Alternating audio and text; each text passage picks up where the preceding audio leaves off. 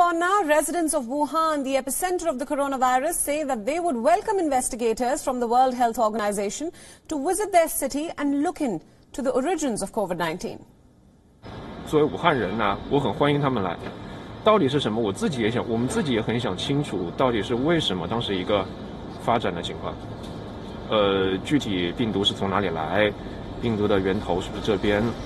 然后我们自己也想弄清楚。 The WHO has announced that an international team of coronavirus investigators would travel to China in January 2021. China reported the first cases of a pneumonia of an unknown cause in Wuhan to the WHO on the 31st of December, and it had shut down a wet market where the coronavirus is believed to have emerged.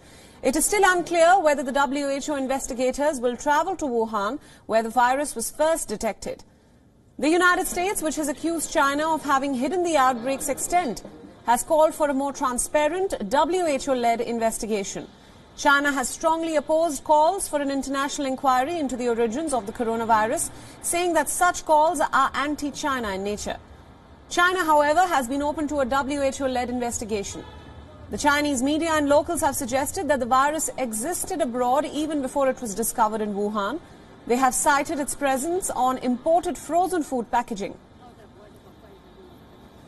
是我们都知道是个什么海鲜市场嘛，海鲜市场找来源肯定，如果说那肯定也有可能，很有可能是从外外面批发就买来的海鲜进来的呀，对吧？武汉武汉没有海鲜的，对不对？找武汉的话，可能还有更更深的一些源头需要寻找啊。